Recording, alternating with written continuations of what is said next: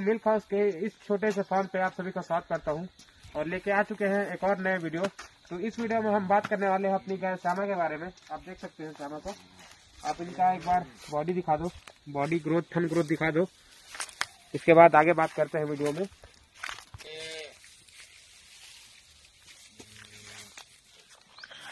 तो दोस्तों, अभी बज रहे हैं शाम के साढ़े चार और अभी मिल्किंग का टाइम हो चुका है, इसीलिए सारे बच्चे लोग अभी आवाज़ कर रहे हैं।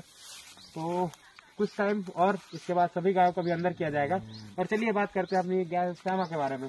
तो ये देखिए, आज है दिनांक 22 दिसंबर 2022 आज हमारी श्यामा को नौ महीना पूरा पूरा कंप्लीट हो चुका है। आप एक बार देख सकते हैं। ये देखिए। थन ग्रोथ पूरा हो चुका है। ये मेरे को लगता है एक या दो दिन का समय और लेगी। ये देखिए, हल्का से खिंचा रहा है। ये नौ महीना पूरा कंप्लीट कर चुकी है और ये अपना पूरा लूज कर चुकी है। बच्चा देने के लिए एकदम तैयार हो चुकी है। ये देखिए। बहुत ही शांत है। आप कहीं भी छू सकते हैं इस गाय को।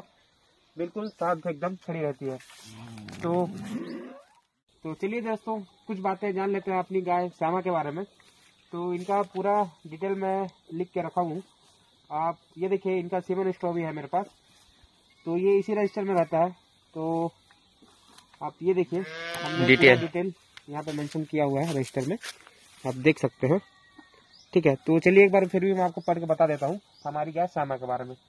तो इनका जो श्यामा जो है, इनका जो डेट ऑफ़ बर्थ है, वो है 12 अप्रैल 2020 को इनका जन्म है मतलब इनका डेट ऑफ़ बर्थ है, और इनका जो एआई है, वो है 15 जनवरी 2022 जब इनको, जब 15 जनवरी 2022 को जब इनको सीमेंट लगा था, वो एचएफ का था, लेकिन दुर्भाग्यवश से वो फेल हो गया था, और इसके बाद ये सेकेंड बार जब हिट में आई थी तो उनको, तब भी उनको का ही सीमेंट लगा है, उसका डेट है 22 मार्च सॉरी 22 मार्च 2022 को इनका एआई फिर से हुआ है।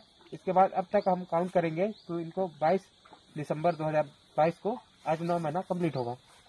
तो हमने इनको वाटर मैच और मेटाबोलाइट मिक्स खिलाया है। इसके बाद आप पूरा बॉडी ग्रोथ देख सकते हैं, हमारी गाय श्यामा के बारे में श्यामा का।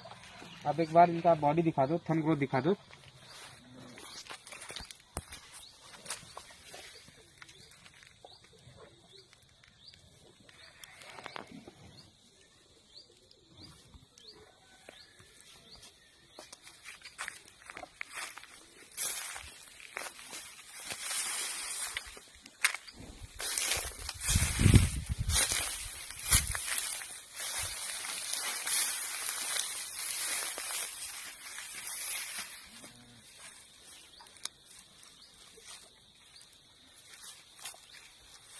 तो आप देख सकते हैं, ये अभी फ़र्स्ट टाइम हमारे फार्म पे बच्चा करने वाली है।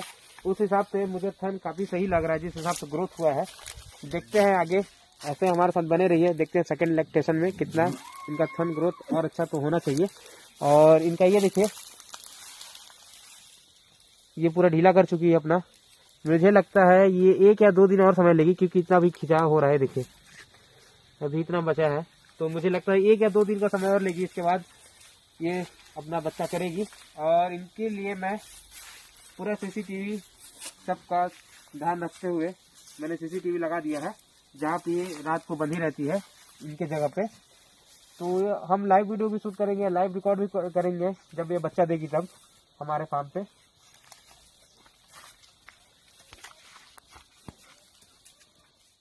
तो ये बातें हो गई हमारी गाय सामा के बारे में। अब चलिए मैं आपको बताता हूँ इनको, मैं क्या खिलाता हूँ अपनी गाय को। एक टाइम पे डेढ़ किलो दाना खिला रहा हूँ। और शाम के टाइम पे भी डेढ़ किलो ही दाना खिला रहा हूँ इनको। और साथ में मैं हल्का सा खली डाल देता हूँ। और ऊपर से इनके लिए भूसा रहता है और साथ से दलिया रहता है। तो आप ऐसे देखेंगे तो एक टाइम में मैं इनको दो किलो ही दाना खिला रहा हूँ, क्योंकि अपना जो डेढ़ किलो दाना होता है और आधा किलो टाइप से कुछ दलिया रहता है। सेम शाम को भी इवनिंग में भी सेम यही देता हूँ मैं।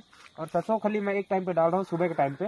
शाम को मैं सरसों खली नहीं मिलाता हूँ, क्योंकि शाम को मैं इनको वाइटामिन देता हूँ और सुबह इनको मेटाबोलाइज मिक्स देता हूँ इनको। ये उनका हो गया खाने पीने का डिटेल तो चलिए दोस्तों, वीडियो को ही शांत करते हैं। वीडियो बहुत लंबा हो रहा है।